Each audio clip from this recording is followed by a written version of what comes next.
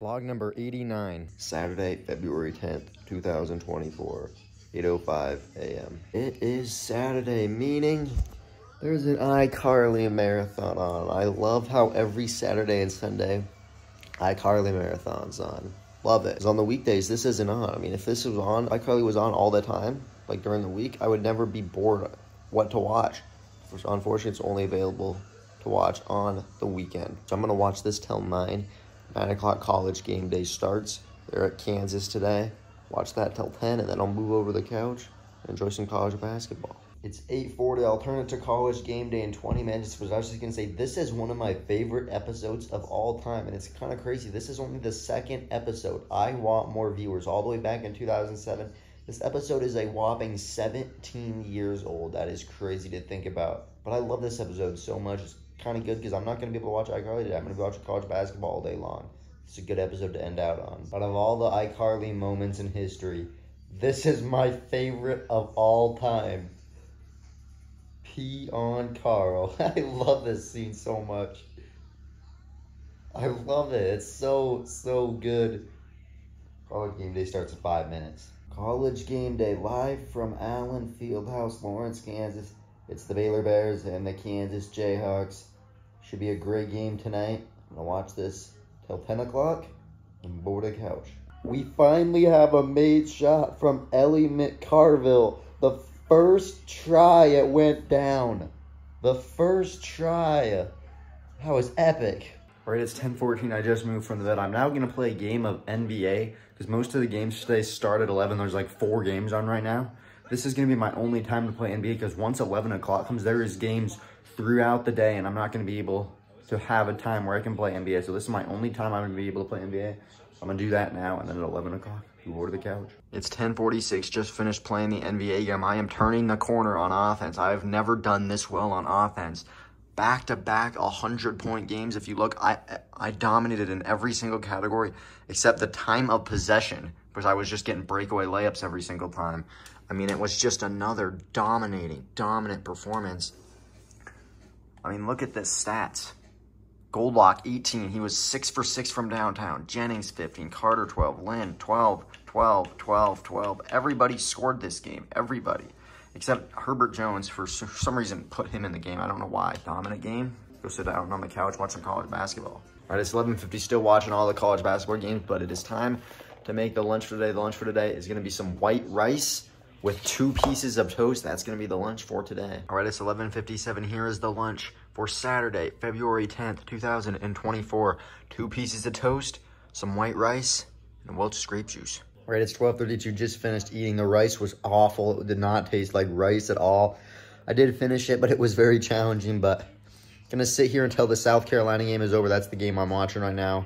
It's a 10-point game, five minutes to go. And then once it's over, I'm going to take a shower because my head is starting to hurt, and I don't want it to start hurting all day long. Grizz play at 2 o'clock, so make sure I'm ready by 2. But as for now, I'm just going to sit here until this game's over. All right, it's 12:45. The South Carolina game just ended. They won 75 to 60, but it is now time to take a shower. Hopefully I can get done before 2 o'clock. I definitely will, but after I take a shower, depending on how much time, I'll either go to the couch or the bed, and then 2 o'clock comes, Grizz. Got to get a win today. Huge game. All right, it's 1:15. Just got out of the shower. Watching the Michigan State-Illinois game. It's on CBS. Tied at 44. The second half just started. I will sit here for another 45 minutes until 2 o'clock, and then when the Grizz play, 2 o'clock, go over to the bed. All right, it's 2 o'clock. The Grizz Northern Colorado game is just starting. You can see the records right there. This is between Northern Colorado. They're in second place. We're in third place.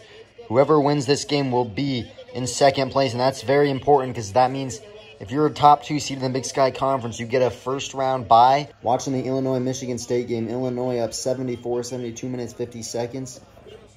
Grizz, got to get a win here. All right, it's 2.45. I don't normally do this, but I turned off the Grizz game. I'm now listening to it on the radio. I cannot watch this nonsense. Grizz have given up 47 points.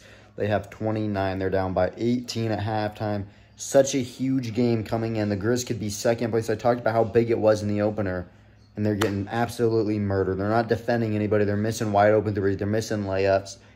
I'm done watching this team. I'm not going to waste my Saturday watching a team that doesn't want to play basketball. So I'll just probably listen to it on the radio. I'm now going to move over to the couch. I'll move over to the couch in about 15 minutes and watch the second half. Gonzaga's up 27-20. This is so random. Gonzaga's playing Kentucky. This is not a this is a non-conference matchup you'd expect to see at the beginning of the year, middle of the year. Very very strange, but it's on CBS. Gonzaga now up by four. We order the couch in 15 minutes. All right, it's 310. Just moved back over the couch. Just looked at the Grizz score. It's 62 to 37. I honestly have no words. Such a huge game.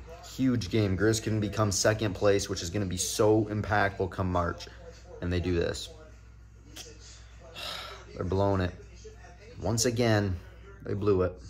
Just like Eastern Washington. They blew it again.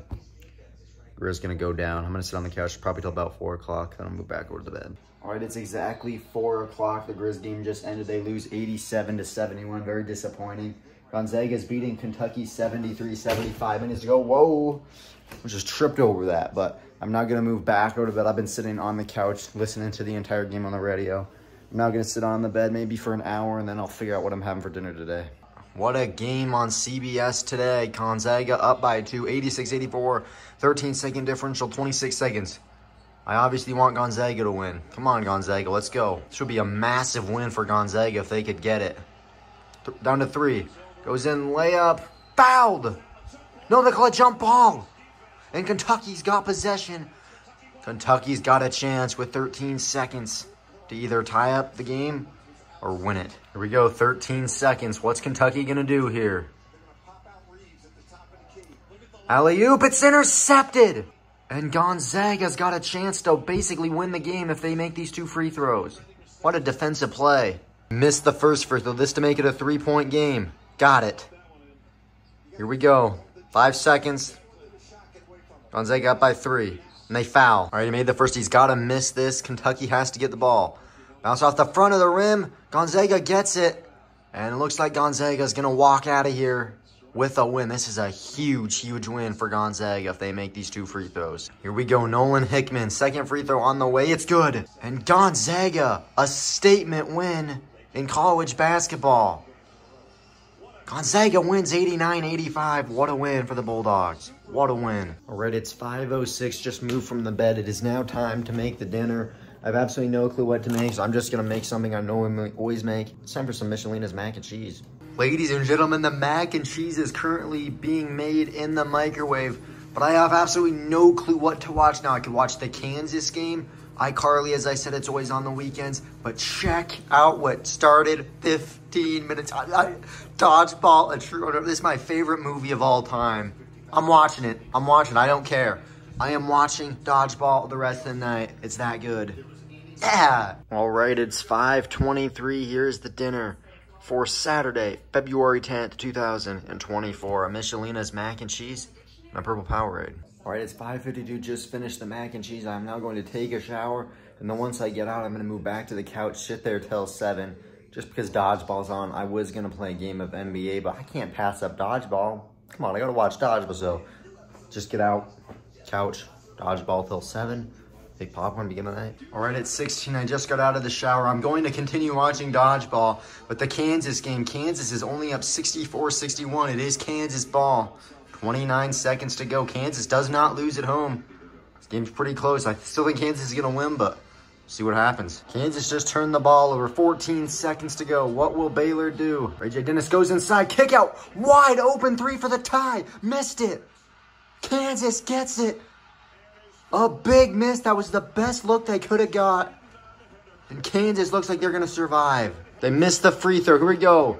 Three. Open for the tie. No. Kansas wins. The Jayhawks survive at home. Oh, man. Baylor had two open looks from three.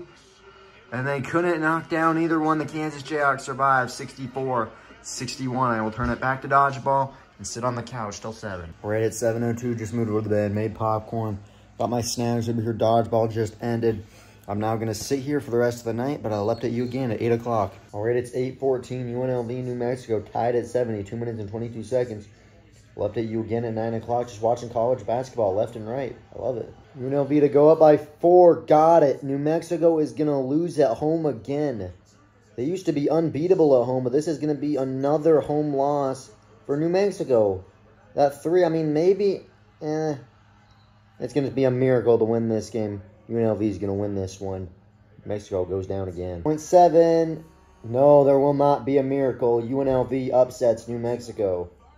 Wow. All right, it's 9.32, still watching the Kansas State BYU game. Sit here for another 30 minutes, and then I'll put all my stuff away. News at 10.30, then I'll turn on iCarly, because unfortunately there's no Jimmy Fallon, which Oh, is very, very sad. But iCarly is a great alternative to Jimmy Fallon. In fact, let's see what episodes are on. Jack in the Box and Del Taco coming to Montana. Will they come to Missoula? That's unknown, but right now, Del Taco, Jack in the Box, coming to Montana. You'll love to see it. I'm bringing it in and out. All right, it is 10.50. The news ended at 10.30. I've been watching iCarly ever since. Love iCarly. I mean, it is so, so good. I'm so glad they do this every weekend because I love watching Fallon so much. And when when Fallon's not on, before they started playing these iCarly marathons every day, I had absolutely no clue what to watch. But this is kind of just a, you know, alternative and I'm completely fine with it. I love it. It's only on two days a week, which is pretty unfortunate. But hey, I'm going to make sure I watch it whenever it comes on. So hopefully you enjoyed today's vlog. I'll see you tomorrow.